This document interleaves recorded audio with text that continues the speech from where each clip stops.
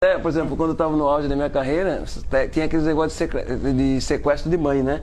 Então, era, Sim, fazia sequestro E minha mãe é 190 quilos, tava pesando naquela época. Aí teve a reunião da minha família, pô, Amaral, tem que contratar um segurança pra, por causa da tua mãe. Aí eu falo, tá bom, eu vou chamar minha mãe. Eu falei, mãe, vem aqui um pouquinho. Seguinte, não vou contratar um segurança pra senhora, não. Se alguém vir pegar a senhora, a senhora se joga no chão. Chama o carro forte. Como que vai colocar no carro? Bom, minha mãe queria me matar.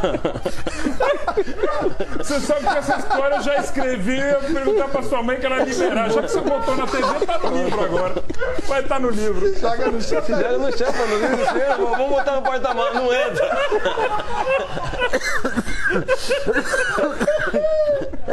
Que absurdo! E a realidade.